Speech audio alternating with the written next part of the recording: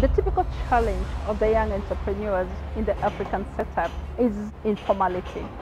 And they're informal because they have no access to even finances that can allow them to hire consultants or professional services to package them. Most of the businesses are unregistered. And as a result, when they come to the bank, you're not even able to start loaning them any money.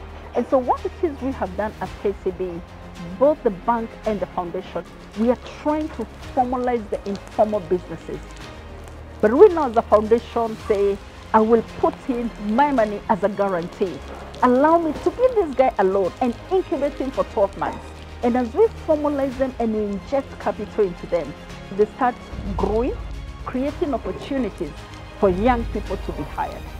And so we create jobs through helping the small businesses create their wealth and expand their businesses.